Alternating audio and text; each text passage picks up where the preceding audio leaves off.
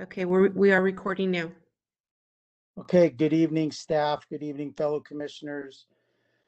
The time is six thirteen PM on July fifteenth, twenty twenty-one, and I would like to call this meeting of the Growth Management Oversight Commission to order. In the interest of public health and safety and pursuant to the governor's executive order N twenty-nine twenty, Members of the Growth Management Oversight Commission and staff are participating in this meeting by teleconference. In order with the executive order, the public may view this meeting online, but not in conference room 103, Building A, 276 Fourth Avenue, Chula Vista. The city launched a virtual commenting portal, e-comment, that allows residents to comment and participate in the meeting from their own homes. You can find the link to e-comment at www.chulavistaca.gov forward slash virtual meetings. Your comments must be received before I call for the close of the commenting period in order to be considered. After the commenting period is closed, I will announce a brief pause to allow the commissioners time to read any comments that have been received. If you have difficulty or need assistance with e-comment during the meeting, please contact Patricia Salvacion at psalvacion at chulavistaca.gov to assist you. Would the secretary please call the roll? Yes, um, Commissioner Alatorre? I see that you're here. Can you hear us? Present. Okay. Um, Chair Caudillo, Present. Commissioner Laniel, Claudia, he's having uh audio issues, but um Connie's working with him on that, but he he's in attendance. thank you. Commissioner Strong, Here. Commissioner Torres, Here, and Chair Hooker is excused for today.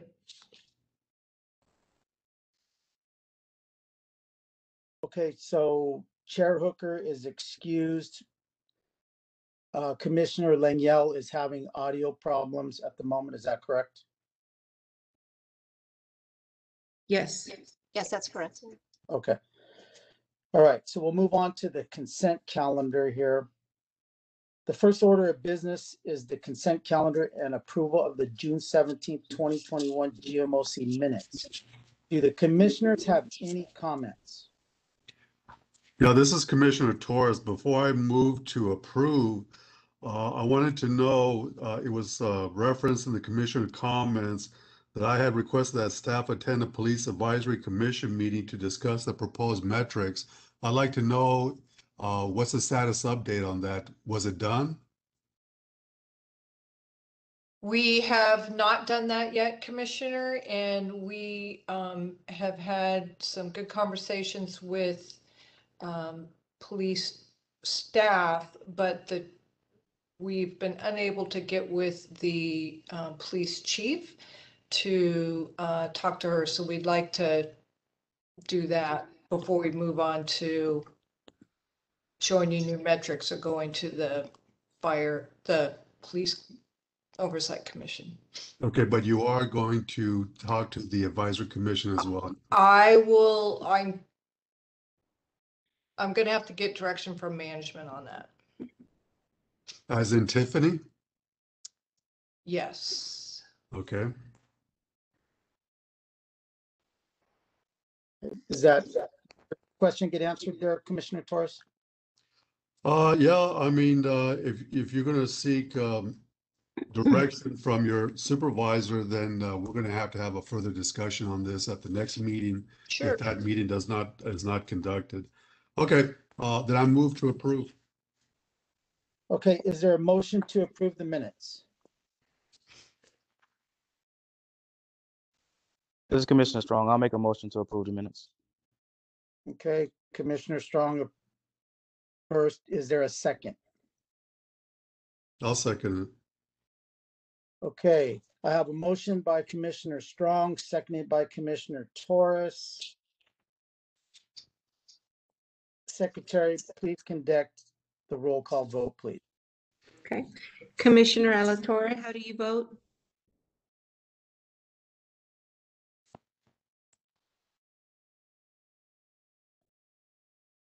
Uh, yes. Commissioner Alatorre? Yes. Commissioner Caudillo? Uh, yes. Um, one second. Commissioner Lignell? Okay. Still having audio problems. Commissioner Strong? Aye. Commissioner Torres? Aye.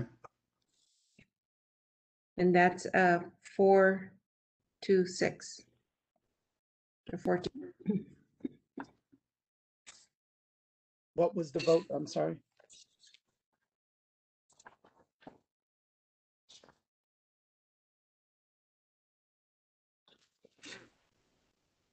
Okay, so the June seventeenth, twenty twenty-one minutes passed with all commissioners present voting yes. Now we'll move on to the public comments portion. Public comments in this section on the agenda for members of the public to address the commission on items that are not listed on the agenda. I will now call for a two-minute pause to allow the public to submit any public comments. As a reminder, please refresh the view on your screen to ensure new comments appear.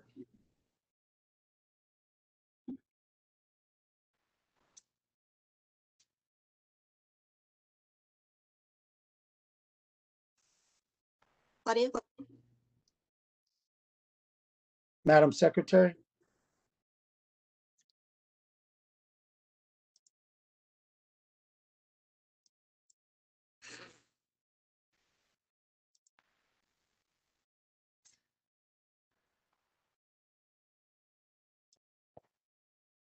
Okay, the two-minute timer is starting now.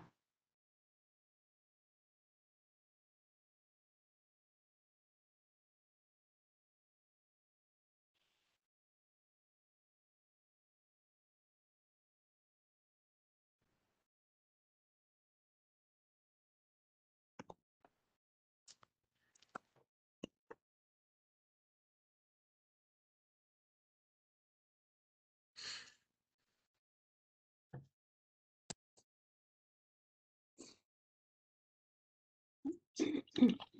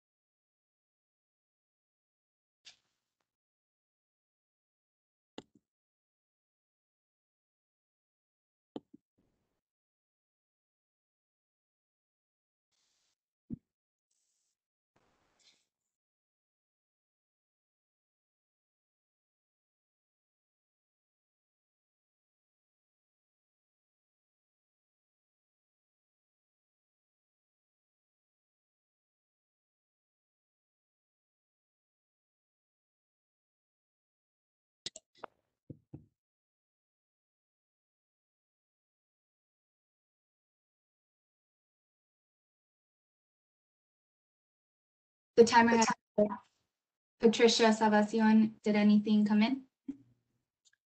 No comments have been received.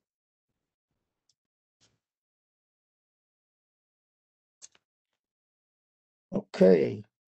So we'll move on to the presentation portion of the meeting. The first item on the, our agenda tonight is five point one. Presentation by Southwest Strategies Outreach Consultant to the Redistricting Commission on Chula Vista redistricting efforts. Good evening, everyone. My name is Melina Mesa. Uh, Thank you for the opportunity to discuss uh, redistricting for the city of Chula Vista tonight. Um, I'm here to explain the importance of participating in the redistricting process. Um, And then I'll just wait till the, sorry, I jumped the gun there. I'm waiting for the slides to come up. Um,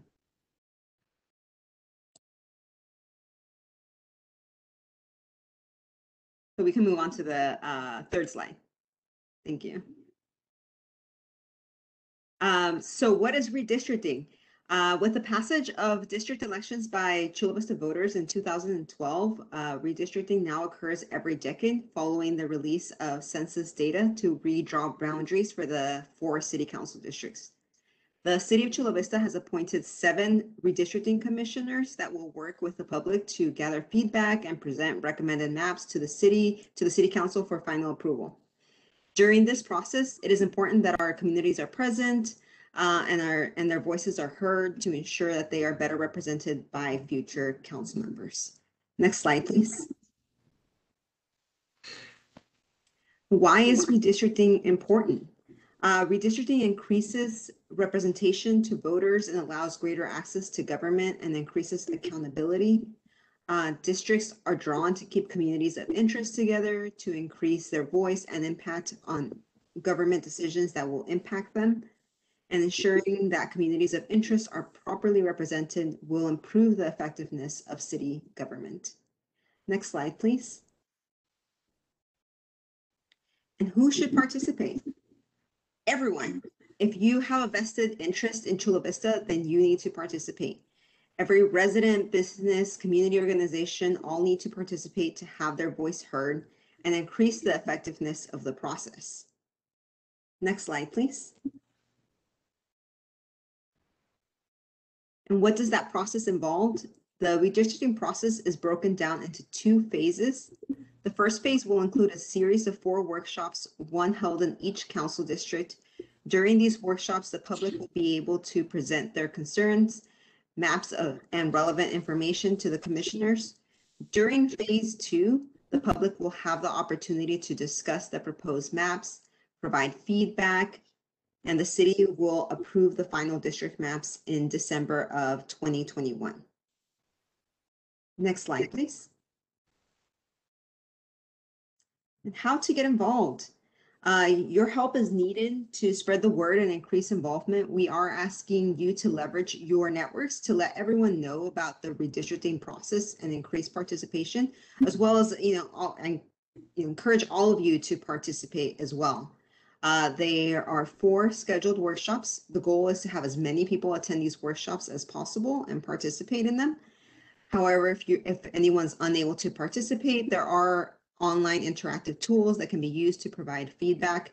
And um, as I said, these are in four different, in each council district. There's one in each council district, but that does not mean that you can only go to the one in your council district. You can go to any of them. The same presentation will be presented at all of them. We're just doing this for accessibility purposes. Next slide, please. And that, uh, if anyone is, like I said, if anyone is um, unable to attend one of the four workshops, they can still still participate by sending a letter, email, calling, or going online to use the interactive tools and maps. Uh, that would conclude my presentation. Uh, does anyone have any questions? Yeah, I did. want- I'm sorry, go ahead. Oh, no, I was just gonna ask, uh, maybe I missed it, but do you guys already have dates and times for the meetings? Or Yes, workshops? yes. Is it- Uh, the in the how to get involved slide, uh, right there on the. Oh, there it is, on the okay. right hand side Okay. yeah and uh we actually uh, you know if anyone um i at the last commission meeting where i was at um some of them some one of the commissioners said that they want to present this information at their hoa so i'm more than happy to send uh the flyer with all of this information with all the uh, workshop information as well as how people can participate and um, I know, understand that redistricting is something new for the city of Chula Vista. It, this is um, the first time that redistricting has been done. So I also have an FAQ sheet so that people can be uh, a little bit more informed if they're unaware of what, what redistricting is. Yeah, and I have a follow-up question. So when you're talking about redistrict, redistricting, are you talking about, does that include like council seats as well? Uh, Or- All involved in the redistricting, I mean, what, what is the goal? So redistricting is something that just has to happen, like I said, every, every, after each census, it's when it occurs. Um, and it's basically, it, there's many reasons why it's done, um, you know, for, namely one of them that is done after population, after the census is because the population might change. So the lines that define each council district might change. Uh, so for example, some, one of the lines might move like maybe two streets over and somebody that was in one of the council districts might not, no longer be in that council district anymore, and therefore they would be represented by a different council member. Having said that, uh, a question did come up at another commission meeting where it was asked if, uh, if some, say if somebody, because this process, because the census was, was so late this year, it, we are starting the process far later than we should. Um, so if some, say somebody's running for city council and they happen to fall in one council district, but after redistricting, they're no longer in that council district, then they would have the opportunity to run for the council district that they're now in. Or they would, they can drop out of the race and then return the funds or donate them to charity. What, uh, this is Commissioner Torres, is that, I don't know, uh, if this young lady, uh, Melina knows that, uh, I'm the chair of the original districting commission. So this is the second time this has happened. And, uh, we established the original council districts, uh, that are now in effect. So I wanna, I wanna understand what you just said is that, uh, because under the law, is that if a candidate, um, because right now, no, uh, the filing period for city council, the mayor hasn't started yet, okay? So, Mhm. uh, if somebody was planning to run, say, in District One, okay? And because of redistricting, that counts, that candidate, potential candidate was cut out of that district and now is in District Two then they would be required to run in District Two if it was up for election during this election cycle. Is that Mhm. what you were saying? Uh, they are not required to run in that new council district, to my knowledge. Um, They're not one of the required, other- but they can, if they Yes, yeah, so th- that is correct. They can, yes. And that is uh what I initially said that they can. Or Yeah. the other option is they no longer want to run and then they would have to. Okay, then I just drop want to make out. sure I Yeah. understood you correctly. Okay, Yes, yes, yeah. All right. Does anyone have any other questions?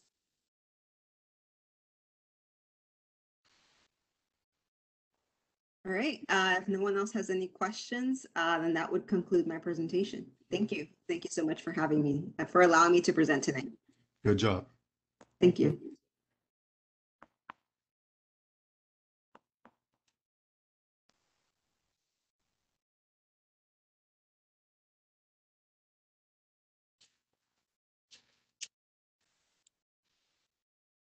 Are Do we you want to going, call in- for a two minute?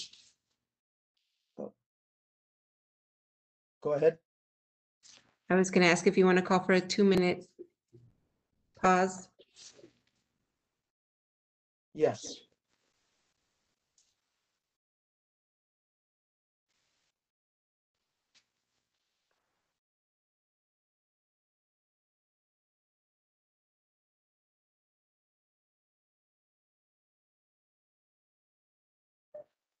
Okay, uh, the timer starts now.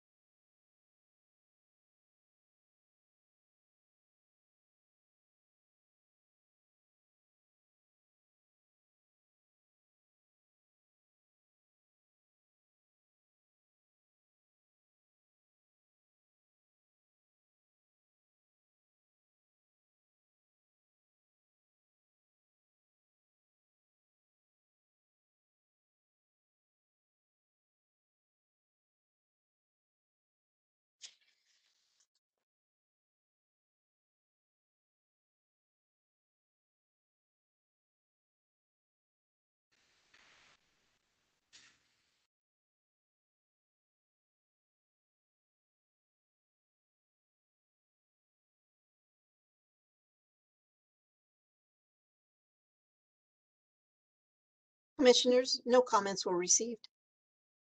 Thank you. Okay, thank you. So moving forward, our next item on the agenda is six point one, continuation on progress of the Growth Management Program Comprehensive Review. Staff presentation by Facilities Financing Manager Kimberly Elliott and Associate Planner Kim Vanderby.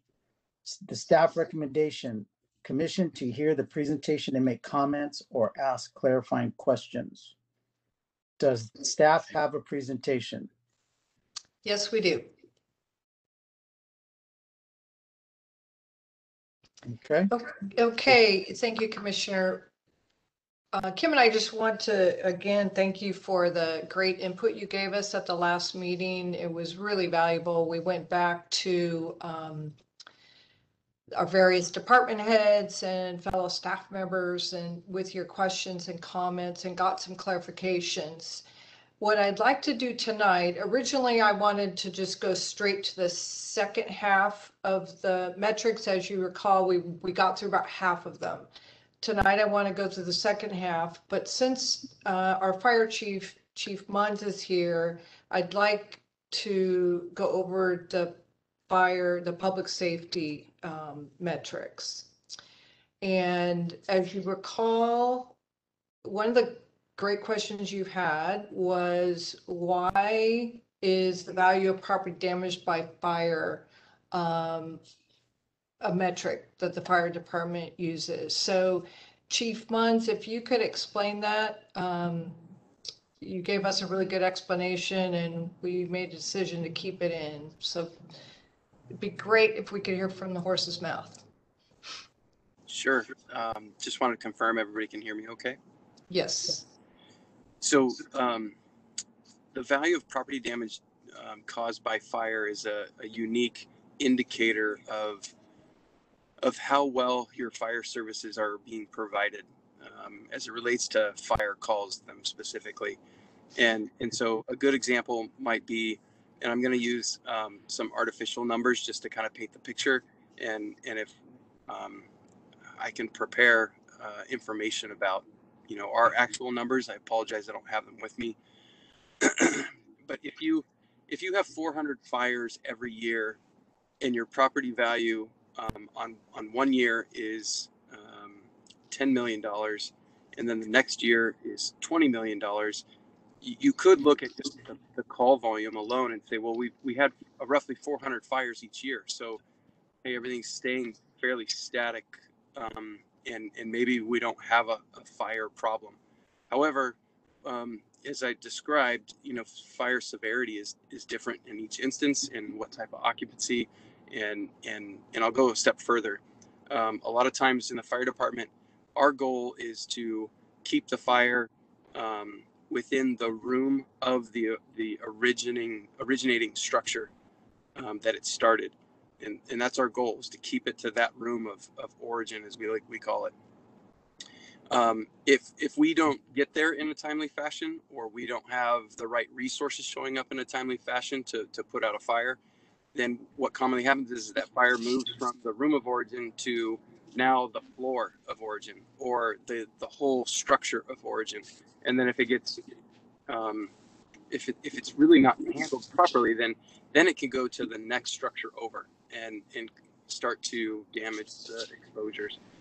So with that context, the idea here is um, keeping your eye on the property damage on an annual basis is important because when I look at our numbers um, and you look back over 10 years, our fire uh, count has has varied from anywhere from 350 to 450 for the last 10 years. But yet we're a growing city. Um, uh, our overall call volume is going up. Our our responses to fires are going up.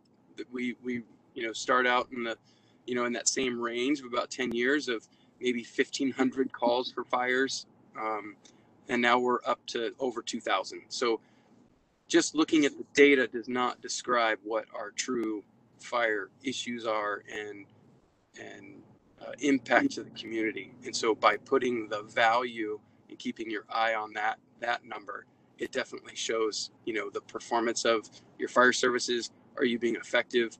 Is there a certain property type that we need to focus on? Um, are all of our fires going growing beyond the room of origin, and therefore we need to get more resources to these fires quickly? Um, th- there's just a lot of additional factors that help uh, the fire service make adjustments um, with that number. Uh, Chief, this is Commissioner Torres. Um, First, I want to commend staff for the memo they provided, you know, to the agenda packet, because if, if the commissioners read the memo, all the information was there, but uh, I want to, I'm the one that brought up the issue of, the of the value of this metric. And let me tell you why, is that you could have, say, one high rise, okay, burn. And, and if you only look at the value of properties independent of any other variable, you could have 20 homes burn, okay? And they would be in in the value of the property equivalent to that high rise. So the question I have for you, is there any way that we could get the information, value of property damage, broken down between residential, commercial, industrial? Because to me, that would make a lot more sense then. It would give a lot better analysis for whoever looks at that information. Can that be done? Uh, absolutely. Yep. Then if I would suggest to staff is that we just make that little tweak to that, and I think it would, that metric would be a lot more valuable. Thank you, chief. Great, we'll make that change. And then the next thing you asked was, can the response times be generated by fire station? And they already are generated by fire station, and I believe that's how it comes in um, the questionnaire, but we can, Chief, do you want to address that at all? Sure, and and I think um, yeah, Kim Kim definitely uh, hit hit on it just there a moment ago. So in the past questionnaires, we have provided um, response times by fire station district, but it was always provided in in the questionnaire as a as an add-on. It it was never really part of the overall ordinance for the GMOC fire and EMS response criteria. So um, I, I don't know. I guess it, it at this point, I, I think it's a over the years. I think the fire department has made a, a concerted effort to try to maybe influence the commission to consider that because um, our our at least my recent um, goals in, in my current position and in my last position was that we didn't have a balanced approach to our service delivery. If you lived on one part of the city, you you might you, you definitely received uh, quicker and um, yeah quicker service than other parts of the city and, and to me that's an issue like we need to be able to provide service equally across the city. And so when you look at like the current gmoc um, ordinance and, and the standard it's an aggregate of the entire city. And and the, the reality is we have two fire stations that run more than 50% of the calls in the entire city and they're both on the west side. And and because of that volume their performance numbers are are really good compared to some of our eastern fire stations. So by looking at these responses by station, you definitely start to see where, um, you know, certain areas perform better than others. So it definitely adds to the, the context of how the service is being delivered. So commissioners, if it's okay with you, we'll just add um, to the end of this by station. If that's what you would like. Sounds good to me. Okay. Next slide, Connie. So one of the uh, conversations we had was, um, you asked us about educational programming. Uh, Are the police going out and educating our kids? What kind of workshops are we having for the public? So we got into a conversation with the chief about that and what came out of that was we really should have a category of fire prevention. So we added these four metrics. Um, percentage of the annual California State Fire Marshal regulated occupancy inspections. the annual percentage of new business license expen- ex- inspections completed within 30 days, annual percentage of fire of fire origin and cause investigations performed by the fire prevention personnel. And that would be of the total that they do, um, or that they need to do, what percentage did they get to? And then the number of public education and outreach sessions, classes, events that they have annually. Um, and I know we just got one in our uh, inbox for one, one that you're holding very soon. So Chief, do you want to elaborate on any of those? Um, no, other than they, they all originated from the public safety staffing plan that was developed in 2017. And it talked about just the overall services, you know, within the fire department and, and ways that the fire department uh, measures itself. Um, so it, these are definitely supported in, in other areas within, um, yeah, within the city and the fire department. And I, I just, yeah, any questions, I'd be happy to, to try and answer them the best I can. Does any other commissioners have a question? Because I do. I, I don't want to dominate this meeting, but anybody? Go ahead, Commissioner Lars. Okay, I just want to ask, um, the first bullet, that, you're talking about inspections for occupancy permits, right? Is that what you're talking about? The first bullet there is talking about state mandated inspections, and that ties into churches, um, apartments, uh, condos, uh, schools. That's where the state of California comes in and says, hey, all, f- all fire services need to perform those inspections to code. Gotcha. So I was just wondering, are we missing the one word completed? Because, because when you read it, it- it, uh, Ah, percentage revenue. Inspections completed, we can add that. or something, you know what I mean? Because you have to compare it to something. The other ones make sense, but that one kind of stuck out as like, well, what are we measuring? You know what I mean? That- Are we measuring the number and then the percentage, the numbers requested and the percentage of those completed? What are we measuring? The percentage of those completed against the number that were required. Exactly, something like that. Does that make sense, Chief? Uh, ab- absolutely. Okay.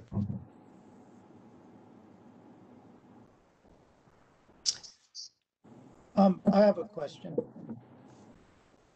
This is uh, Commissioner Cadillo. So I, I kind of, um, missed the last meeting a little bit because I was having, um, some connection issues. So I'm not sure what was all really discussed because I missed probably half the meeting. So I'm kind of getting in on the tail end of this, but so going, this, my question kind of really maybe encompasses all three. Maybe it's been discussed. But Commissioner Torres brought up a good point that the, the fires and property damage could be skewed by the nature of what's burning, right? Um, so I guess my question would be, are we, are we tracking response times? Or is the response times that we track, is it categorizing like just response times to just fires? Or is that all um, combined together in the response time. The reason why I'm saying is because if we're really looking at tracking property damage, it would be also nice to correlate that to the, you know, in other words, if, if response times are going down for fires, then the loss of property should also go down. Is that correct? Th- There definitely is a nexus for that. Correct. Okay, so do, is, will our data capture that if we ever would need it? Well, the, I guess the data that, that's captured, I mean, we capture all of our response data, whether it's fire based or EMS based. So we, we absolutely have all of those numbers, you know, and obvi- obviously to the specific call type itself. So, um, but there definitely is a, a nexus to uh, the shorter the response time, in, in theory, the, the smaller the fire. Um, Right. Because you're getting to it sooner, right?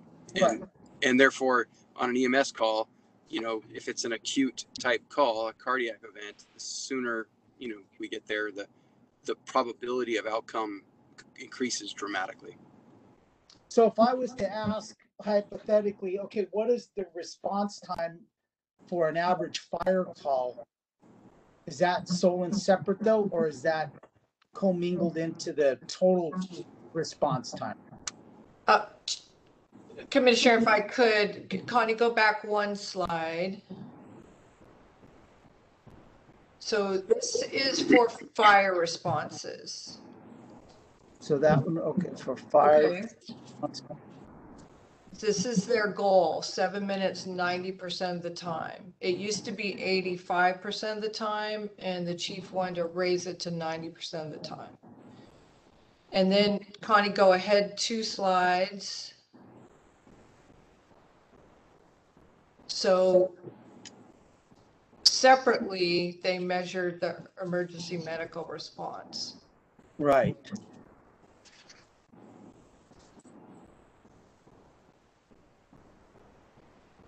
So the EMS portion is measured separately? and- Correct. And then the, f- but, so we have a goal for fires, but is it measured though? Yes. It is, okay. Yep. Mhm. Okay, all right. Just wanted to clarify that. Sure. Okay, I'm, I'm finished. Thank you. Okay, so we'll just stay on this slide. Um, so chiefs, it's new to have that you guys are, um, you took EMS in-house, so maybe you can walk through these metrics. Sure. So the top bullet is really focused on first responders. So that's that's an engine, you know, truck, USAR, what, what's traditionally you have seen in, in your fire stations throughout the city. And so the unique part about that is, is we call them as a, a first responder is um, they get dispatched the same time as an ambulance, but the intent behind this is that there's there's more fire stations and, and fire engines and trucks than there are ambulances. And so the for all intents and purposes, the fire department arrives on scene first and, and, and the quickest. And so that metric is for that first responder to arrive on scene within seven minutes, 90% of the time. and really, they're there to initiate patient care and stabilize the patient and prepare them for transport. Um, then, then you move to the second bullet, and now we start to talk about what the ambulance requirements are. And so this is for an, an ALS ambulance or advanced life support ambulance to be on scene within 12 minutes, 90% of the time. And so their purpose is to then get the patient transferred to them from the first responder. And now they, they take possession of the patient care and then transport them to the hospital. And so the unique part about this that I really want to focus on is that really emer- EMS or emergency medical services from a 911 perspective is really a two-part system. You have the first responders and then you have the ambulances. Because with what I just described, as soon as the ambulance takes possession of the patient, now that first responder is available for the next call. And so that's the critical piece is that once an ambulance has a patient, they can't run another call. And so their typical um, average time on task with a, a medical patient is about um, 116 minutes per call. And then, and of course, that's that's the typical, um, like in an average type approach. And they they absolutely have times where they have a patient for over three hours, and and the reason for that is typically is um, once they get to the hospital, the hospitals are overloaded, and they sit on the wall, as we call it, uh, wall time, for upwards of, of two, three, four hours. Um, and they're committed to that incident. They can't respond to another call. And then a lot of times, um, emergency departments, we have two here in the city, but um, a lot of times these patients are, are Kaiser patients. And, uh, or if it's a, um, a child, they get transported to children's hospital. So they're being, these ambulances are being pulled out of the city. And so if, if you relied on a system, an EMS system that was, you know, solely on, say, ambulances, you, you would run into a significant issue of not having anybody to respond to calls when when you do hit those peak volume times and all the ambulances are assigned or or most of them are assigned uh, with patients. So that's the unique piece of a two-part system um, to really have the redundancy and the ability to respond to the community. So the f- first responder gets there first and, and, and typically the quickest, seven minutes, 90% of the time. They transfer the patient care over to the ambulances. The ambulances then transport the patient, um, and you know, for that full continuum of care and, and transport to the hospital. That last bullet is um, different from the second one. It's still related to ambulance transport, but these are for urgent calls. So they're calls that, that are, are not triaged as advanced life support. And so there's a different time frame for responses for the, the um, ambulance unit. And so they respond within 20 minutes, 90% of the time. So any questions on, on those? Chief, one of the questions that the commission raised last meeting was, are these national response times? Hmm. I thought they were, and you corrected me, so maybe you Oh, can got it. Expand on that. Sure.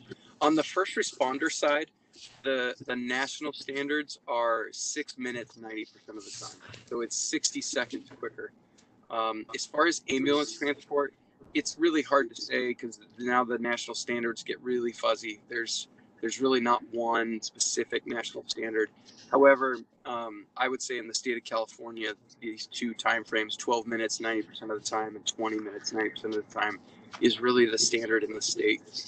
So, um, and the county as a whole, um, as far as county EMS goes, um, that that those are those their standards as well.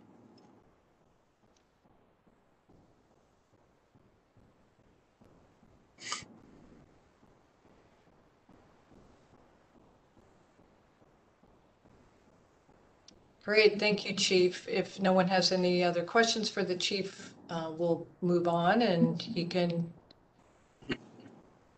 go do firework. Thank you, commissioners. Thank you for giving me the opportunity to uh, to address the, the commission. Thank you, Chief. Thank you. Okay, Connie, let's jump to slide 22.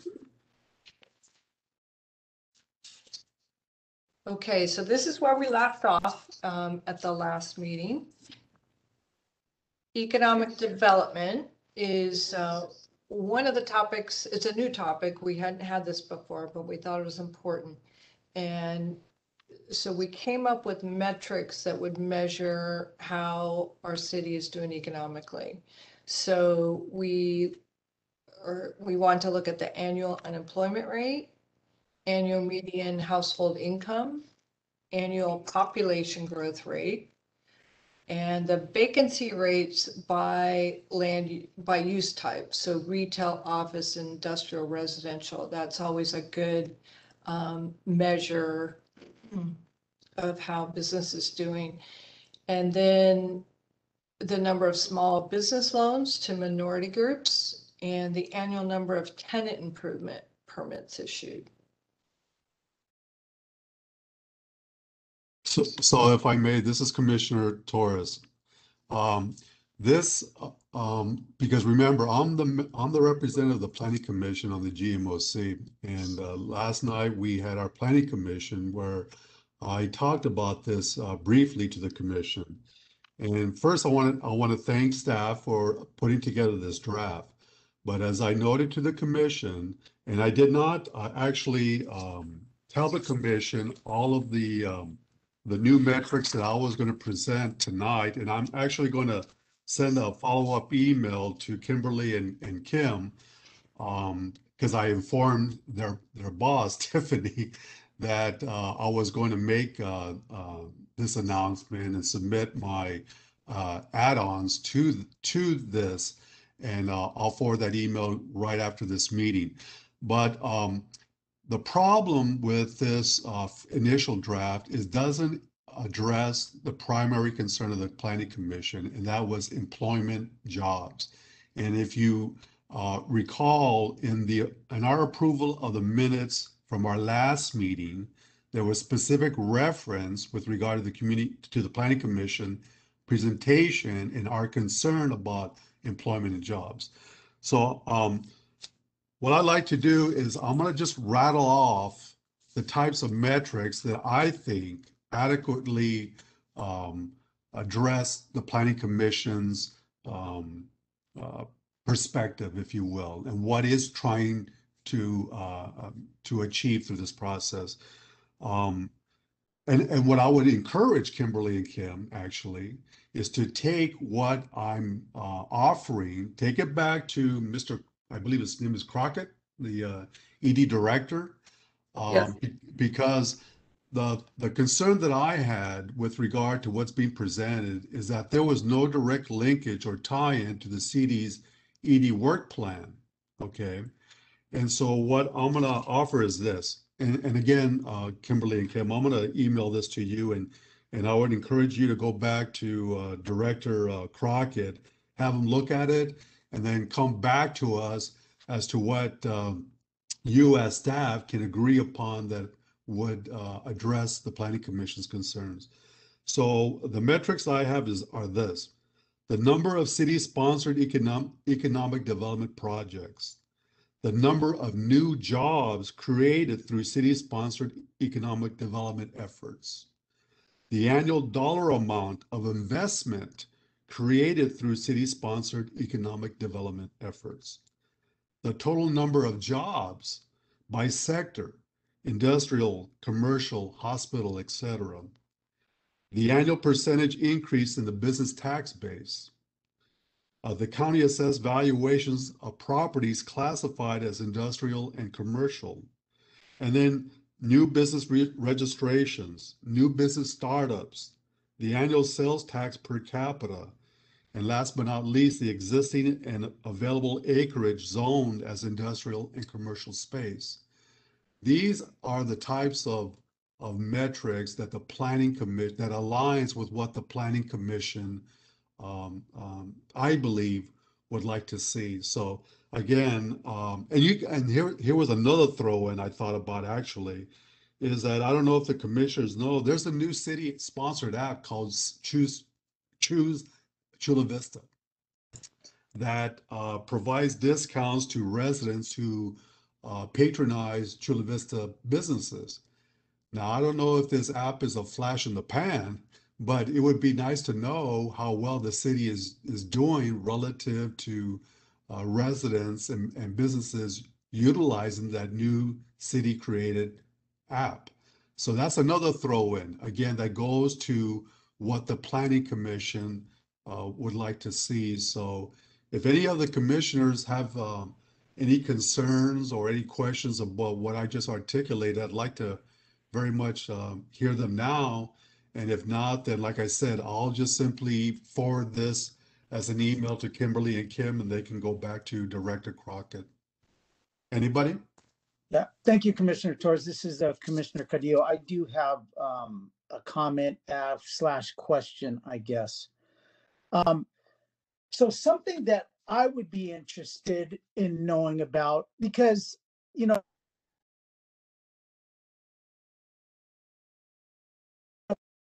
Chula Vista to go work, right? I, I can't remember what the number is, but it's, it's, it's large. So I think you know what our goals should be as a city would be to attract companies to come down here uh, Right. whether they're large companies medium-sized companies or even incentives for smaller companies to to establish business here so i would be i would like to know first and maybe this data is already being captured somewhere and maybe they have it or maybe it's there but it's just not able to be retracted out but i would like to know what the size of our businesses are. Like, how many businesses do we have that have 25 or less employees? How many businesses do we have that are 100 or less? Or how many do we have that are 200 or more? That's a great what- I question. mean, I- Yeah, Huh? great, That- great point, great point. Yeah. So I'm not, so I mean, I'm, I'm not saying those need to be the numbers, but I'm just, as an example, Mhm. because it would be help in our marketing of Chula Vista. It would just be nice to know what we have and because we know where we want to go. So I think something along those lines, I think I would like to see put in the economic development metric. Yeah, just to let the commission know, I actually started with about 20 and then I had to whittle it down, you know, to what I thought were the real uh, primary ones. But yeah, uh, Commissioner Kadia, absolutely. And that was actually similar to one of the ones I was considering presenting. Uh, so I Mhm. definitely, I definitely am on your wavelength. But anyway, so that's why I stopped at uh, relatively 11 instead of the original 20. So Yeah. are there any other commissioners? Yeah, and I and and uh, fellow commissioners, I think really this is, I mean, they're all, all, everything that we're doing is super important. But the economic development is just as important as public safety. Um, so, you know, and I know we're all working hard at this, so it's just, you know, we want to get it right. So even if we have to take a little bit longer to get it right, um, Right, that's the path that we should continue going on. right.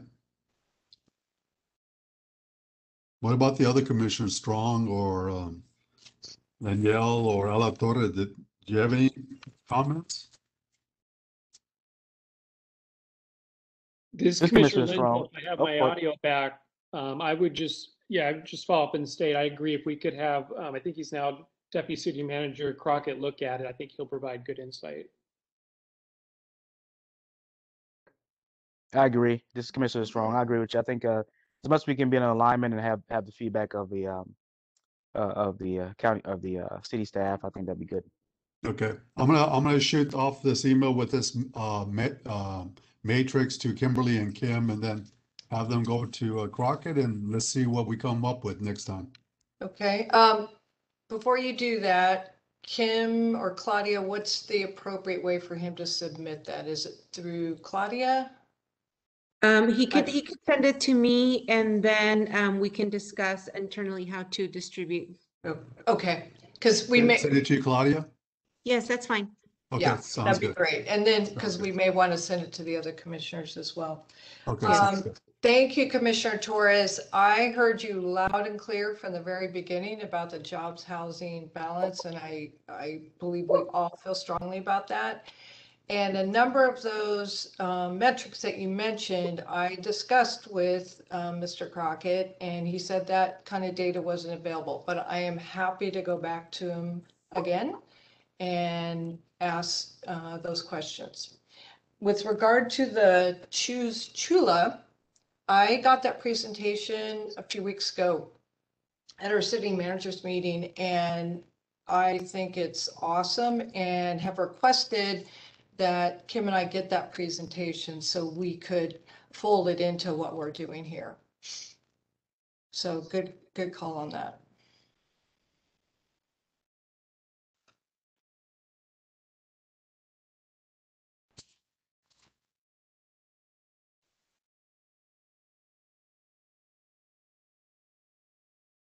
Kim, does that conclude the presentation?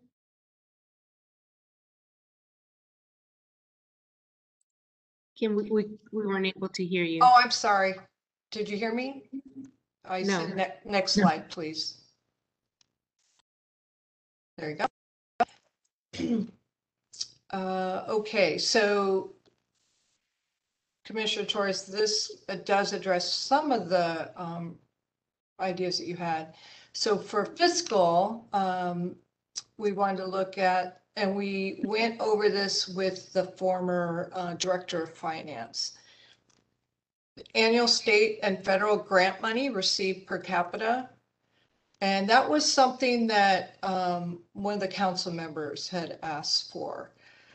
Annual sales tax generated per capita, annual general fund dollars spent per capita, annual percentage to target for reserve funds, annual uh, pension unfun- unfunded liabilities, annual TOT tax generation, and annual auto park sales revenue.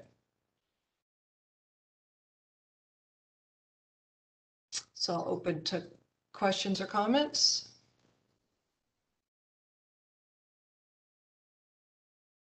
I know Commissioner Cadillo had a lot of concern about this topic. Did you want to say something? Yeah, I do. Um, I, so on the bullet point there, annual pension unfunded liabilities, is that in total or per retiree? Or how- can we break that down? Uh, I believe it's provided as a total Okay, can we break it down maybe further? to, I'm not sure to answer your question. I Well, can ask. We have a total amount of unfunded liabilities and then how many, how many uh, retirees does that represent? Okay, the number, I'll Yeah. ask.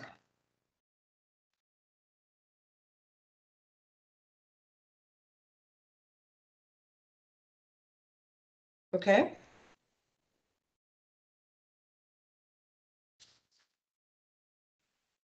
All right, if there's I just anything have a, else. I just have a question. Bullet number four.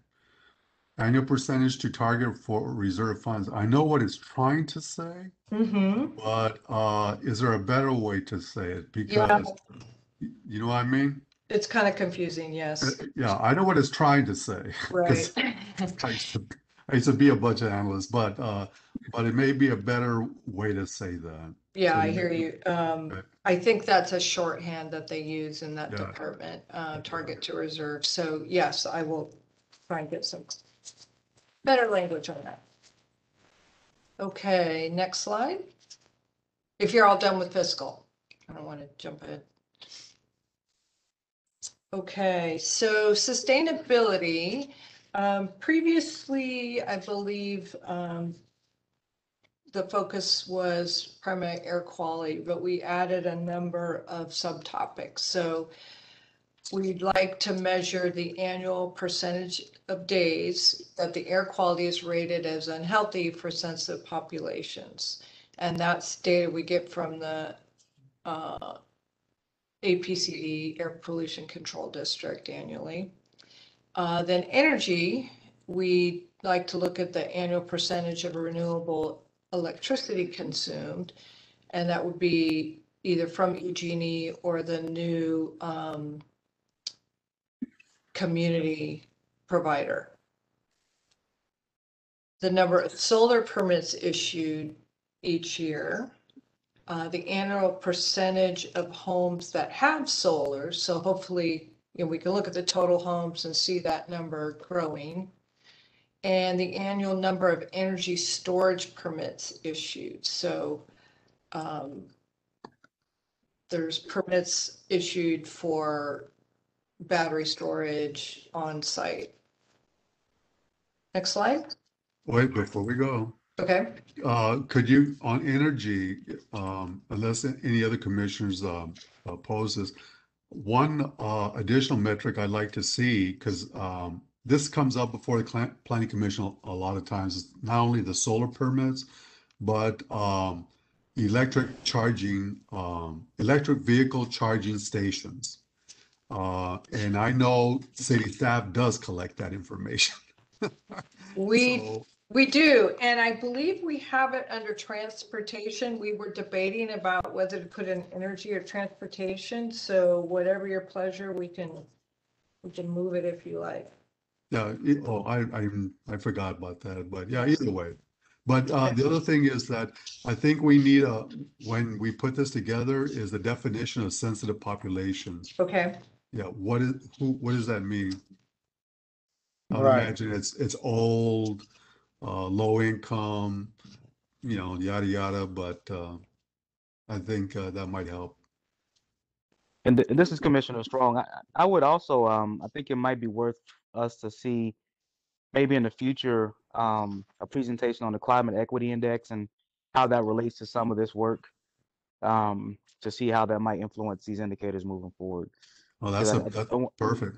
That's, that's a get a great better understanding on that. Yeah, um, yeah, maybe staff can, can work on that, is pro- maybe pro- come back with, with some metrics relative to that. Um, that's a really good one. We had a long conversation with Corey on this. S- Unfortunately, some of the climate metrics aren't done very often. Um, only every few years, but I'll go back to him on that. And the other one you said was the number of EV charging stations. Do you want that, uh, um, to be the public ones? Uh, public and city. In public and you mean private, like residential, or just the, Well, I mean, all, all, uh, EV charging stations have to come to the city for a permit, so okay, I don't know how staff, yeah, we might want to break it down. yeah, I don't know how staff congregates that information. And just, uh, just so you know, we're developing a policy. We've started to have organizations like Tesla come to us and wanted put their charging stations in the public um, parking um, Oh, oh. spaces. And we're developing a policy around that. Yeah, because I'm seeing those charging stations popping up everywhere now, you know, Right. grocery stores, you know, Yeah, um, and there's. CVS, everybody. Yeah. And there's Okay. pros and cons because they take away regular spaces if they're, you know, not being used. Right. Right. Okay, next slide. So still under, oh, that's where we put it. Um, under greenhouse gas, the last bullet, publicly accessible EV charging stations, but we I'll find out if we can get the private numbers well. So under greenhouse gas, uh, annual per capita GHG inventory. That looks weird. I can't remember if that was a separate bullet. I believe it was. Sorry, we're missing a bullet there. Annual total solid waste per capita, uh, waste diversion rate, uh, number of trees planted annually, and the number of days uh, that the city operates the cooling zones uh, for extreme heat.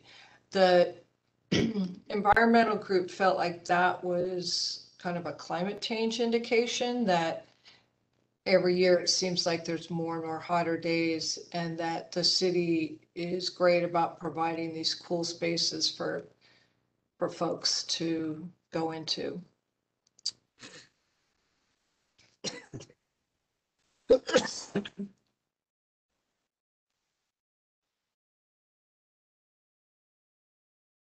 So this is probably where we'd look at the climate equity index. Anything else on sustainability?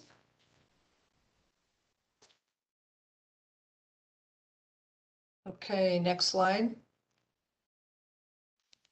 Health and wellness. Um, a lot of this information we got from the county's uh, Live Well program. They can provide this data um, for us. So we have three categories. Equity and access to health care. So percentage of population without health insurance. Uh, or the number of ER beds per capita. And we saw that that was really critical during the COVID pandemic. Um, medical specialists per capita.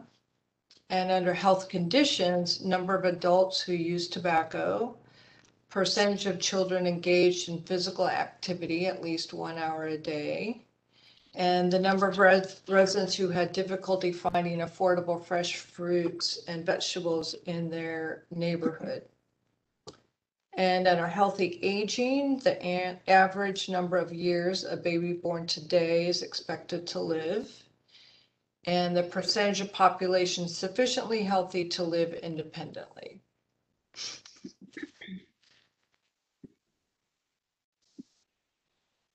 Any questions or comments? Uh, So, I, I have a question. Um, what about, are we keeping track of, um, I think this would be appropriate in this category. Are we keeping track of the retirement facilities, assisted living facilities, like the number of beds we have in the county, anything like that? Well, we, we're focused citywide, so I don't know if that's something that's tracked. hmm We could look into it. Yeah, could you? I have a couple ideas with that, but I, I think that would be, you were talking about health and wellness where, Mhm. you know, as people age, that's gonna be a resource or a need. So Right. I think that would be important to track that. See if we're losing beds or gaining beds. Are we Yeah, talking about group homes, assisted living, or what are we talking about? Well, I mean, it could be really a combination of the two. I mean, it could be, you know, um, special medical facilities that house people long term. It could be assisted living facilities. It could even be like convalescent homes too, I guess. Gotcha. Yeah. I think, I mean, I think it would be nice to track that to see, you know, if we're losing these businesses, gaining them. You know, we're losing beds, gaining beds.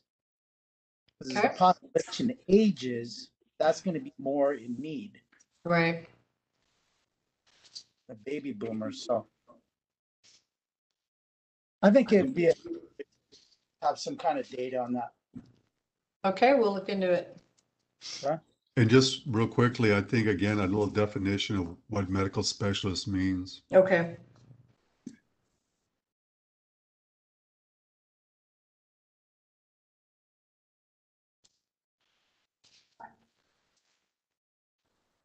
All right, next, anything else? Next slide. Under infrastructure, we have a number of items. We met with um, our Public Works Director and our engineering folks. So under road maintenance, um, remember we had Frank uh, Rivera pre- present on the pavement condition index that they do, and we can calculate the linear miles that are repaired annually. Uh, the square feet of potholes that are patched annually. The number of traffic signs repaired and maintained annually. The pounds of weeds on public right-of-way trimmed and removed annually. And the pounds of trash or debris on public right-of-way collected and removed annually. So that's for road maintenance. Next slide. Sewer, storm drain. Uh, number of miles of sewer main, sewer mains cleaned annually. Uh, the number, and we can combine some of these, I realize they're repetitive, number of miles of sewer inspected annually. Uh, cause you can imagine some are inspected and clean and some are just inspected. Number of miles of critical main drains cleaned annually. Number of manholes in the roadway repaired or raised annually. Number of storm drain catch basins inspected annually. And the number cleaned annually. Square feet of storm drain channels cleaned annually. Number of storm channels inspected annually. Square feet of storm channels sprayed for invasive plants, bushes, and trees annually. So that's really a comprehensive annual look at the sewer and storm drain maintenance. Next slide. And then still under infrastructure, um, just general maintenance, citywide maintenance, the square feet of graffiti removed from storm drain channels annually. Square foot of graffiti mo- removed from areas other than storm drains. Number of preventative work orders completed by central garage operation annually, and those are the folks that maintain all the city vehicles. Um, linear feet of CMP replaced annually, that's corrugated metal, metal pipe, that's trying to be, we're trying to replace that. Number of trees planted annually, number pruned annually, and number removed annually. So that's general maintenance, and then under water, we wanted to look at the annual gallons of water used per day per capita and the annual gallons of reclaimed water used per day per capita. So hopefully we're seeing the reclaim go up and the um, potable water use going down. So Kimberly, this is Commissioner Torres. So, um, the general maintenance, the road condition and the sewer, um, could we not get that broken down between East and West Chula Vista? Because I know that, uh, city staff has this all on a GIS, uh, database, so it shouldn't be that difficult for them to bifurcate that between East and West. I will ask them.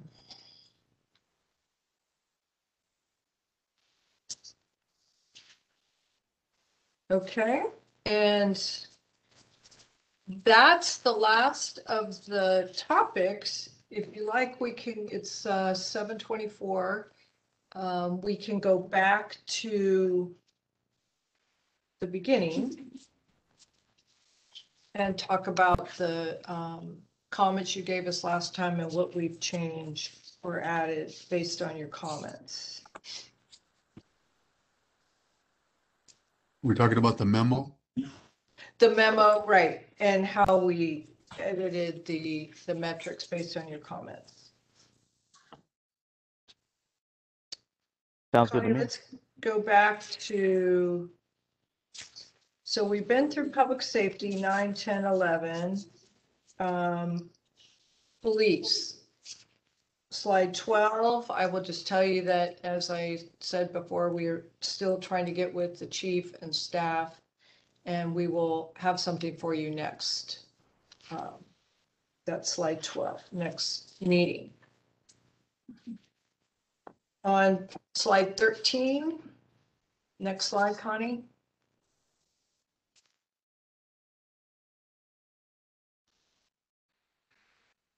You asked us, um, the annual, ask us why this was important, the annual dollar value of donations received, and we considered that and agreed that it probably wasn't that important, so we eliminated it. I, can I make a comment on that? Sure. Okay, first of all, I mean, it's it's about animals. So here's the thing. Um, did we, before we eliminate this, I would like to make a point on this. Did we consult with the animal care facility on why they do this? Because maybe there's something behind this that we don't know. My understanding is that they rely a lot on donations compared to other Right, city services, and that's why it's a metric for them, but, um, right. And I'll, and I'm gonna say this, and, and I'm just speaking from my own, because I go to a lot of fundraisers with the type of work that I do.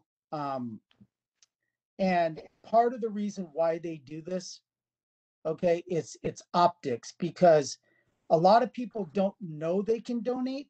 And mm, when it's publicized, it gets people to donate. sure, So I would, honestly, I would say just leave it. Okay. I mean, I a reason to take it out, to be honest with you. I mean, it's because it's not hurting anything to be there and, and I'm pretty sure that if we were to talk to the people back then when they implemented that or put it in, that they would probably tell you something along with what I just mentioned. Okay. Well, okay, let me, let me explain to Commissioner Padilla, the reason why we took it out, and the other commissioners can talk about it, is that uh, if on, th- for animal care, that we would need to do that for library, we would need to do that for parks and recreation, we would need to do that for other city departments, because uh, donations to animal care is not unique. So if it's going to be one, then it has to be for the others, and then it brought into the question then, is that in and of itself, the value of donations, is that, you know, uh, a valuable metric? And, and I get, and I get where you're coming from with regard to, uh, publicity. I mean, but that's something animal con- control can, you know, does on its own. I mean, but is it something that we need to, um, uh, analyze as, as a metric? So that, that was the thinking last meeting, if any of the other commissioners want to opine, but that was what people were talking about. Mhm. Yeah, I mean, very well said. I mean, it, it, like I said, just- I was just making a point on why I know they probably had it in there, whether or not you guys want to choose to strike it out, that's up to you guys. It's up to you all, we, um,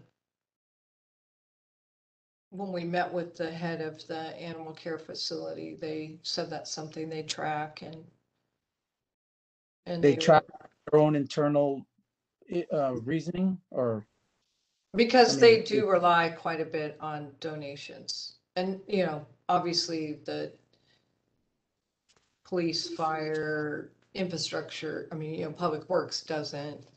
Um, but some other departments do. I, I have no idea how much Parks and Rec, I'm assuming the library gets donations as well. Yeah, So what does the other commissioners think? Strong and Lengyel and Ala- Alatorre? I, I can go either way, but that was the thinking. right.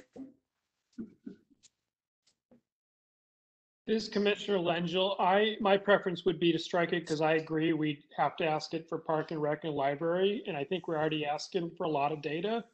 And I'm just worried about a little bit too much data and it's hard to dive deep into each, each relevant piece. Okay, And this Commissioner Strong, I agree. I, I don't know how substantive it is to uh to keep it in there to help us make decisions to, I mean, because we get an overview on budget stuff, so I- I'm not sure. We can always ask during that, that presentation as well. Okay. So I'm hearing, take it out.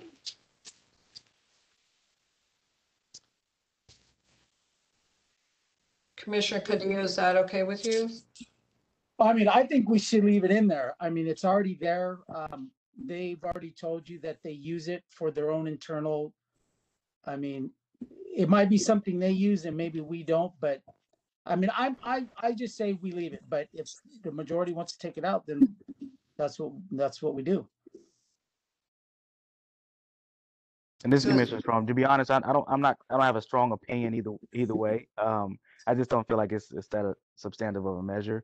We can always ask about it during budget, but, um, like I said, I'm, I'm fine keeping it in there or taking it out, whatever y'all decide to do, whatever we decide to do. All right, this is Commissioner Torres. I'm not gonna bang on my sword over this, so let's just keep it in. And then let's just, let's just move on. See, Okay. Commissioner T- Padilla, you gotta make sure your audio works next time, man, in the, in these meetings, okay? So you can be participating. Man, I was on vacation. All right. If, if I could just chime in a moment, um, I'm thinking perhaps this is included because a lot of the donations that the animal care facility receives is not, um, in monet, is not monetary, it's in, um, supplies. Um, you know, blankets, towels, food, um, medicine, those types of things. So maybe that's why, and whereas some of the other departments, it's, it's, it's actual dollars. Gotcha. Yeah, God knows I've given them a lot of cat food. Okay, we'll move on to housing. Next slide. So Commissioner Torres, last time you corrected my notation about inclusionary housing and the actual name of the policy is balanced communities policy. And I believe there is more discussion of this coming in the housing element that you all are re- going to review at the planning commission. Right, right. No, I, I thought, I thought this one was pretty powerful. I thought it was really well done. I went back and looked at the, um, that We All Count report that's generated annually by the regional towns, regional task force on the homelessness. And their population inventory is broken down by sheltered and unsheltered, which I thought was important, and they do it by city. And then the kind of the demographics that they break it down into by city is the number of chronically homeless, veteran, female and males, families and youth. Um, I think there was a question about whether they broke down by race, but, and they do countywide, but they don't by city. Um, You also ask, is there crime data for the homeless? And the annual report on homelessness does not include crime, crime data for homeless people. And let's see, I think that's it. Um,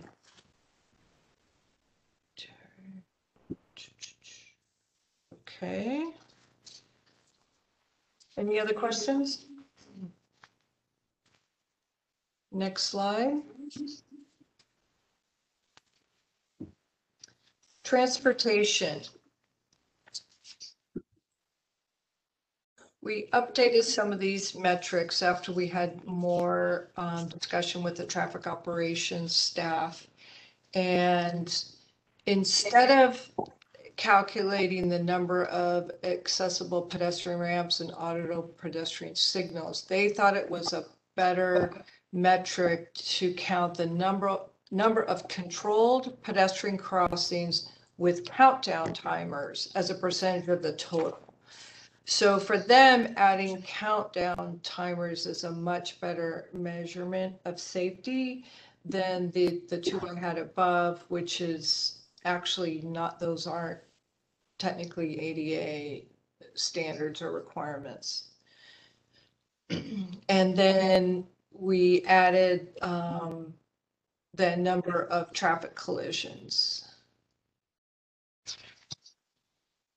Then under traffic efficiency, you wanted more definition on what they would be measuring under their annual level of service analysis. And they added this criteria. So they'll report the LOS measurements and they will be representative of typical traffic patterns during weekday peak hours, excluding variations from seasonal or atypical circumstances. So I'm assuming they exclude Christmas or if there's some big event or something. And secondly, that the arterial LOS calculations will be based on methodologies defined in the latest edition of the Highway Capacity Manual. And then in the memo I sent you, uh, they gave me a list of all the roadways that they plan to an- analyze annually. So it's all the major roadways and very specific about from what place they start to the end and uh, on the east, divided by the east and west side. Let's see, you asked about the number of, can they evaluate the number of fatalities at city, city intersections as well as the overall count? Um, we just included the number of traffic collisions and the operations staff would um, really rather have the safety commission evaluate those um, metrics. There's a lot of, you know, factors and, and that's just what they would prefer, which made sense to us. You mean so address, so them evaluated, for the lack of a better term, offline? No, at the house, at the safety commission. Yeah, that's what I mean, but not, not part of this.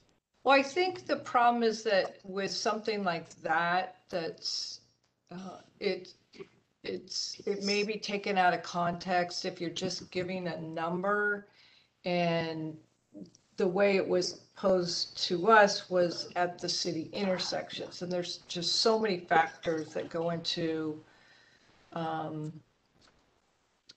you know, pedestrian fatalities. They preferred to keep that evaluation that's still public information at the safety commission. Okay. Okay. Next slide.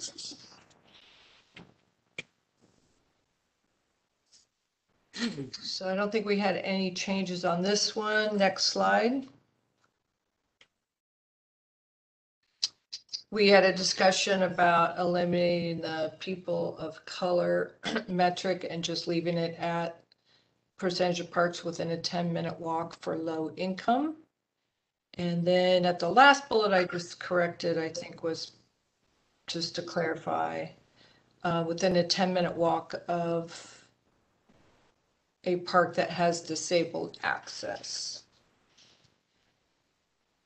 You all also had a recommendation to look at the quality of parks per zip code, and I'd love to have a bigger discussion on that. We really couldn't figure out how to, you know, value, you know, the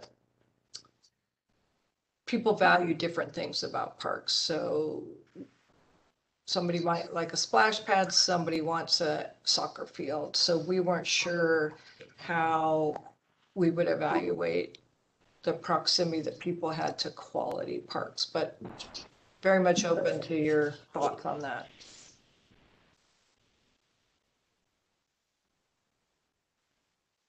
Well, this is Commissioner Strong. Does does quality? I think when I was thinking about quality of parks, I thought I think about the um kind of the state of the park as far as the um um I don't want to say health, but you know, Maintenance, it's maintenance maybe? maintenance. Yeah, Yeah, you know, because I always think about that the facility that we saw that had holes in the roofs, right? And yeah, yeah. So what percent of the po- population is by a park that's in good, um, you know, good standing? Okay, Yeah, I'll- I, I I'll- don't know if other commissioners had thoughts on that. That's no, sounds good to me. we'll check back with Parks and Rec and see if they can help us with thoughts on that. Okay, next slide. Libraries, uh, you asked us to add these metrics. We checked with the head librarian and she agreed that that's something they could track, which is the hours of internet used annually, the number of internet hotspots provided, and the library use by age group.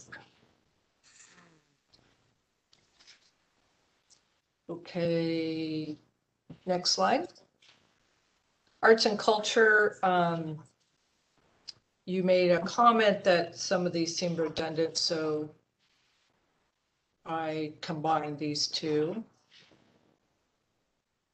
Number of city-sponsored classes, art, art-related classes, and the number of participants. Next slide.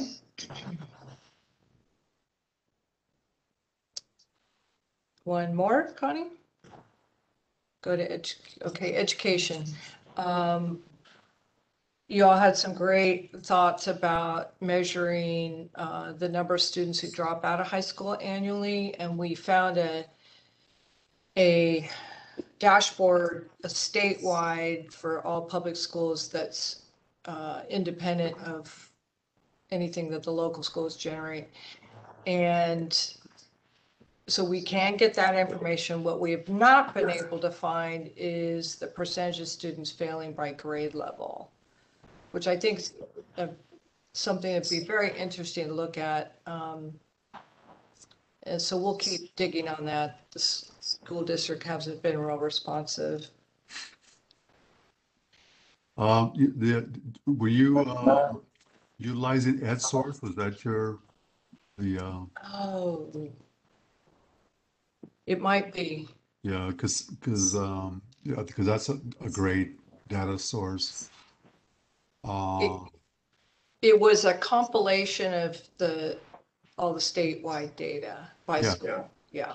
Yeah, yeah, back in the day, I, I, I used to have access to all that database, so if, if you come to a, if you hit a wall, just let me know and I can point you some other data sources. Okay. That'd be great. Um, education. Community engagement, you asked us to add the number of city-sponsored workshops, outreach programs, and we can do that. Um, the redistricting commission presentation we heard tonight is an example. You, we had a discussion about data that might be available from the San Diego Workforce Partnership about disconnected youth. And Commissioner Strong, I think this was your comment. And I looked on their website, they have some really interesting articles. Um, But we would, I, I think what I need to do is contact them personally and see if they do any regular measurement of their programs or outreach to disconnected youth and if they have any statistics on that. If anybody has a contact there that you think would be good, be happy to take that. Sounds good, Kim. This is Commissioner Strong. I could I could um, put you in contact with somebody from work. Oh, that'd be great. So I think they're, they're really valuable. They do great work, uh, obviously, and they have valuable information. And next slide. Yep, so that concludes, now we've gone through all the topics. What I'd like to do is come back next month with the second half. We'll go back and research what you asked us to do tonight. And I think then we'll be, then we'll come back and have a comprehensive list and we can um, continue to look at it, refine it, and then go from there. I Is can't, that, I'm sorry, go uh, ahead. Kim, I got one question. Can you go back to education just real quick? Sure. There you Okay, go. I mean, we're, you know, we're asking for a lot of data, um, so I'm just trying to figure out what we're gonna do with all this, but I, I think when we talk about education, you know, so, um, this is just my thoughts, this is how I see things, but, you know, we're asking about graduation rates, who's all going to college, yeah, but there's, but there's a lot of precursors to why kids end up graduating or why they don't.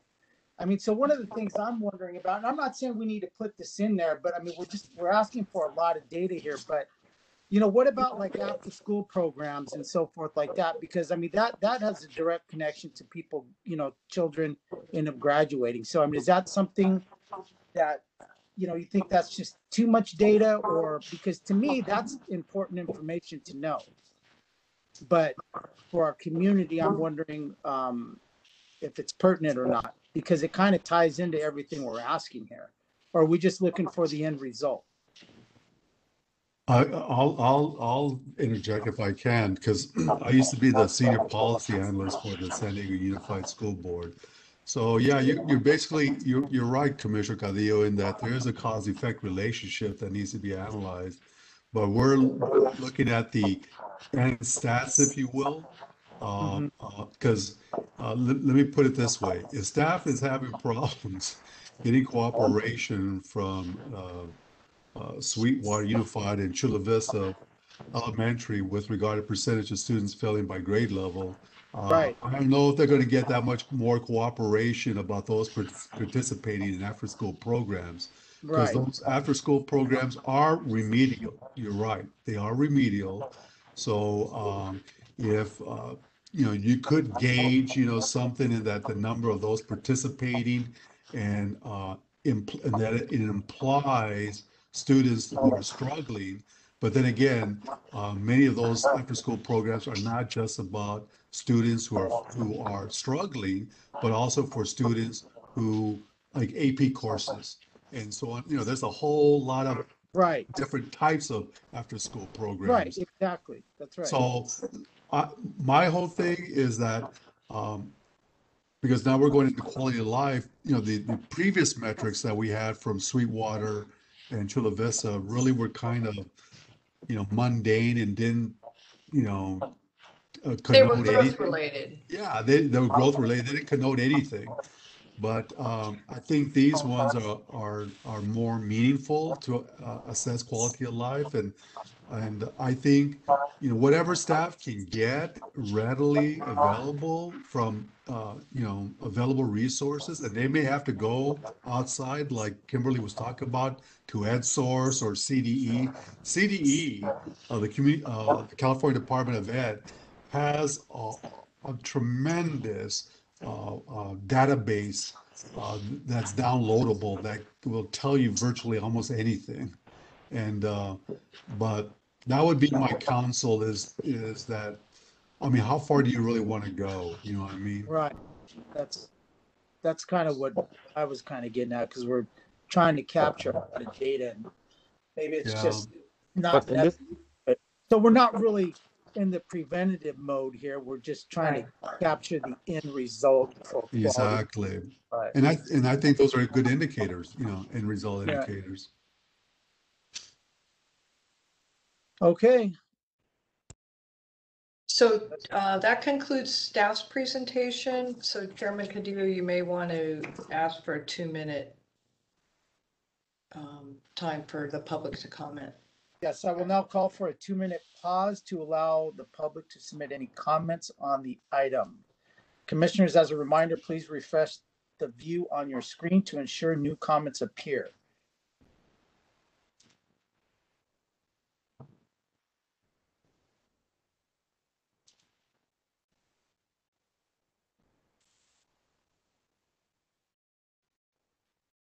The timer has started.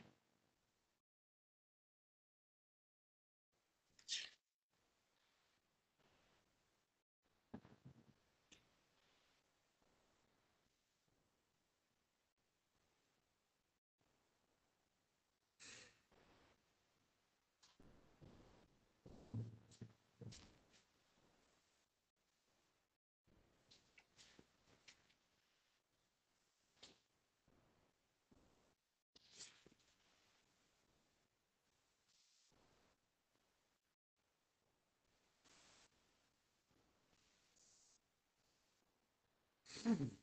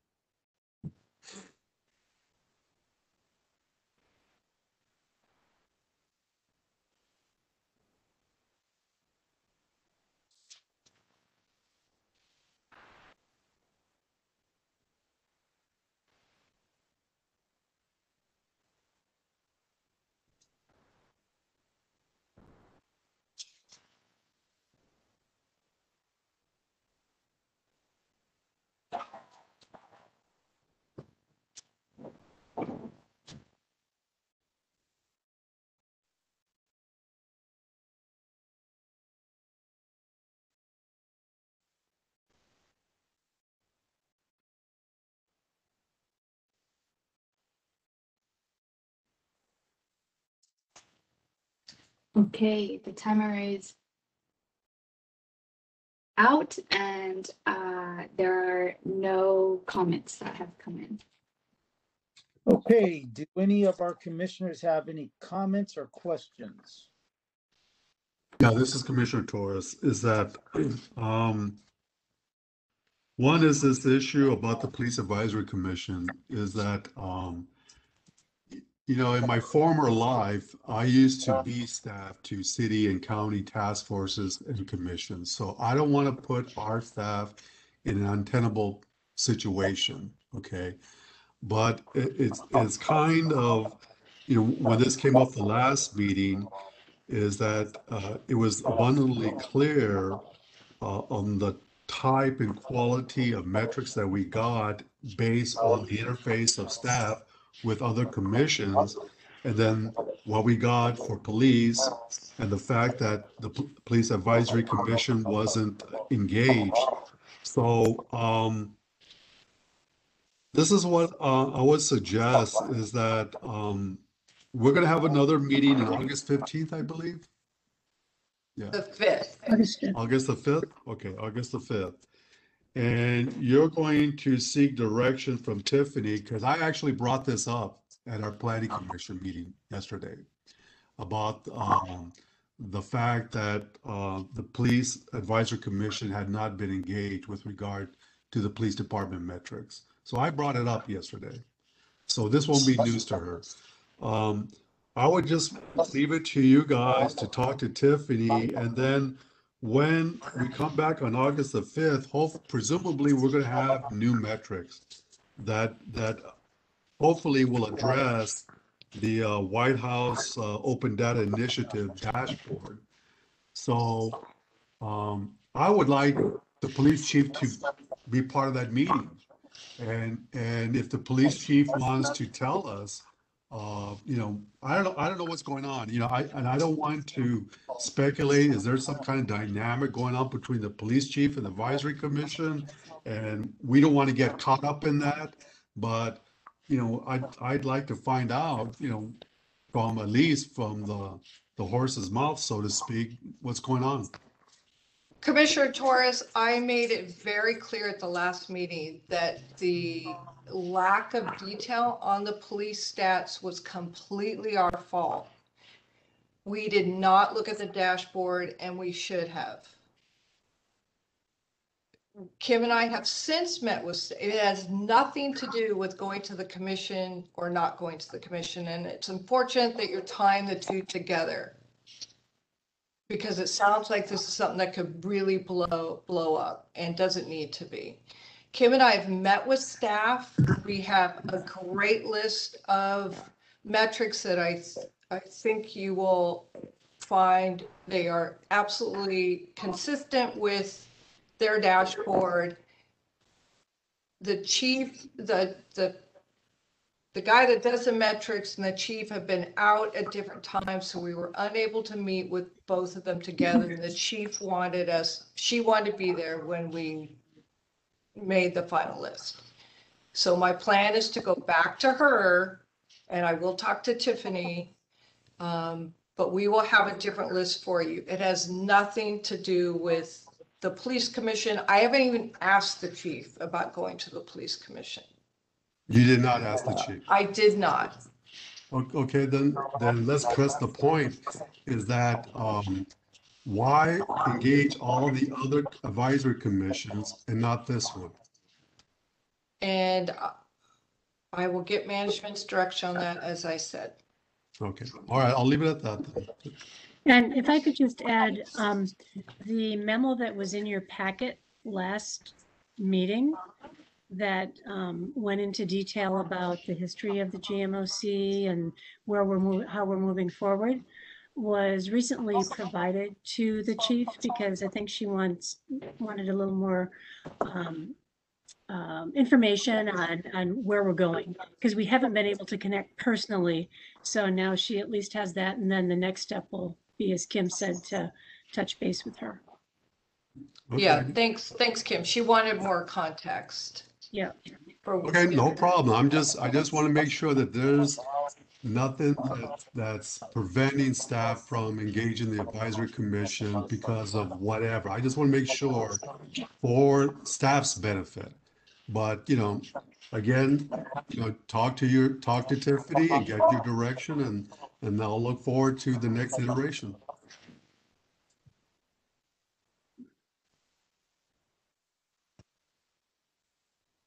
So are we good? Yes, we will do that. Okay, so are we moving on now, Kim? Yes, Um, uh, that moving on concludes to, staff uh, presentation. I'm sorry? That concludes staff's presentation up for that item. Oh, okay. All right, so then we're moving on down to the bottom to other business, correct? Correct. Okay, all right, so this time we're gonna move into other business. Uh, our wonderful staff, we have any comments? I have no comments. No comment? I think we just want to remind you that the next meeting is August 5th. That will still be virtual.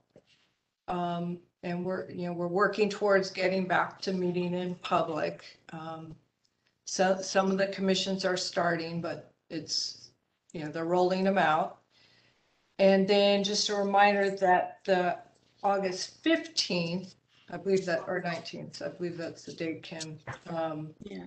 is the boards and commissions um, annual Appreciation event. appreciation event. Yes, so we hope you would all attend that. And And It's the nineteenth. 19th, so that's the night that we would normally have a commission meeting. So we will not have a meeting that night. Okay, That's right. at the new library deck, at the Chula Vista Library. oh, great, Mhm. awesome. Um, does that conclude staff comments? I Yes, it believe does. so. It does? Okay, so uh, chair's comments, so that would be me tonight. So I just want to, you know, just say something. Okay, guys, we, you know, this commission, we're taking a big, in my opinion, a big undertaking here. Okay, we're asking a lot from each other. We're asking a lot from staff, so we all need to be patient. Um, and let's keep doing what we're doing, but look, look at all this. I mean, I'm going through here, looking at all these metrics and stuff. I mean, we're, we're revamping all the categories and all the metrics that, you know, we, we're deeming to be irrelevant. So let's just keep, keep moving forward. You know, staff's doing the best that they can. Um, and my only question now is, what, where are we at from here on, Kim? Do we need to schedule more meetings based on where we are right now, on the feedback you're getting from the commissioners, um, and so forth? Commissioner Padilla, I think that would be um, something we can discuss at the next meeting. I think I'll get more information about what our next steps will be. Okay.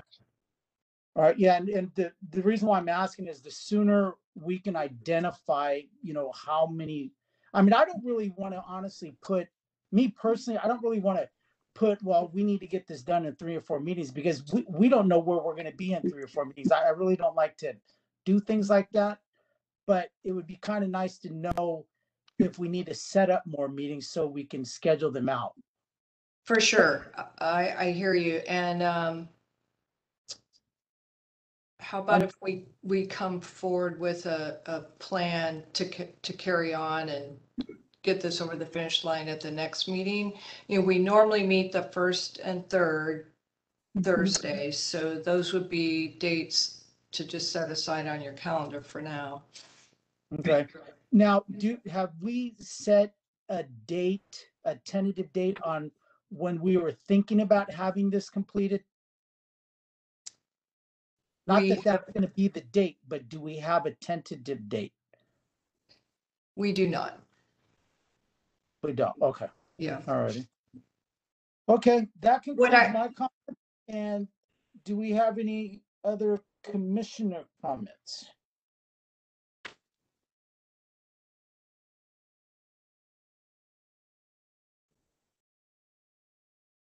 Seeing no commissioner comments, I guess that concludes the meeting, correct? I believe so. Okay. Thank- you for filling in at the last minute, Vice Chair Padilla. No problem. No problem. It's my honor. So I will say on adjournment, it is, let's see, what time is it? Eight oh one. Eight oh one PM, I am adjourning this meeting to the next regularly meeting of the Growth Management Oversight Commission on tentatively August fifth, two thousand twenty-one at six PM via teleconference. Conference room one oh three, building A, two seventy-six Fourth Avenue, Chula Vista, California. Thank Good night, you. everyone. Good Thanks, good night. night, everybody. Thank you. Thank you. Good night. Um, Right?